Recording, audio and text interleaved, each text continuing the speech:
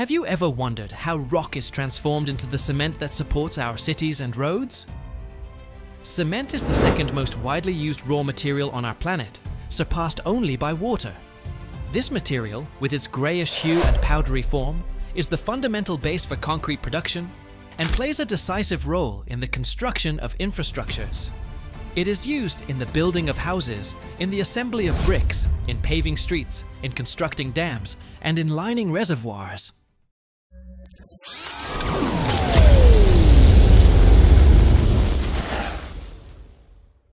Its importance lies in the fact that it acts as the cohesive element that binds and strengthens structures as varied as skyscrapers and bridges. Behind this essential input hides a colossal story, full of the use of enormous kilns, high-powered machinery, and the controlled application of explosives to break apart large rock masses. In Mexico, one of the most remarkable cement facilities worldwide is located, a plant that, despite appearing as a veritable industrial city, is in fact a single, extensive factory.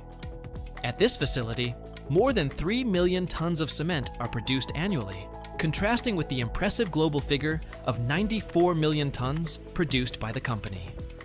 The entire production process begins in a limestone quarry, where the rock exposed at the surface has a relatively high content of silica, iron, and aluminum oxide. However, deeper down, the ore proves to be of higher purity. This quarry is situated at an altitude of 2,500 meters above sea level and covers approximately 800 hectares. To extract the limestone at the surface, the use of explosives is indispensable. Workers, following strict safety protocols, drill into the rock and place explosive charges in the holes. During detonation, it is crucial that personnel maintain a minimum distance of 50 meters to avoid any mishaps. The resulting concentrated explosion shatters the mountainside, releasing up to 200,000 tons of ore in a single blast. After the blasting, heavy machinery takes over. Excavators and mechanical shovels collect the debris and load them onto large capacity trucks, known as dump trucks, which can carry up to 90 tons per trip. One of the shovels, equipped with a 12 cubic meter bucket, is capable of scooping up approximately 18 tons of rock in each operation. Once loaded, the trucks transport the ore to the adjacent cement plant, where the transformation of limestone into cement begins. The first challenge at the plant is the excessive size of the extracted rocks, which necessitates reducing their size. The trucks dump the limestone into a colossal crusher, where a mechanism with the power of 67 tons is capable of crushing up to 1,000 tons per hour. This process reduces the size of the fragments, bringing them to dimensions similar to those of a tennis ball. Once crushed, the rocks are transported via conveyor belts to the various areas of the factory. The coordination of all activities in the plant is carried out from a central control room, which oversees the entry and mixing of the diverse components necessary for cement production. The basic formula to obtain this material consists of limestone, clay, and even iron. Ingredients that are dosed through six large hoppers and incorporated into the production system. Given that these components have a high density, it is imperative to subject them to a grinding process in a large mill. At the base of the mill are three crushers of enormous capacity, responsible for pulverizing the materials until a very fine powder is obtained. One of these crushers, with a power equivalent to 4,500 horsepower, is capable of grinding up to 350 tons of material per hour. Once the powder is obtained, it is crucial to eliminate any residual moisture and the volatile gases generated during crushing. This process requires the application of high temperatures, for which a gigantic rotary kiln is used, regarded as one of the most imposing in the world. Before entering the kiln, the powder is at an approximate temperature of 80 degrees Celsius, but in just 40 seconds, when exposed to the intense heat, its temperature is multiplied by 10. Inside the rotary kiln, a large-scale burner generates a massive amount of heat, raising the temperature of the material until it reaches 1,400 degrees Celsius, even surpassing that of erupting lava. During this process, the limestone dries out and decomposes, producing calcium oxide and releasing carbon dioxide in a process known as calcination. the minerals undergo solid state reactions that culminate in the formation of small clumps called clinker. The clinker, an intermediate raw material, must then be converted into the fine powder we know as cement.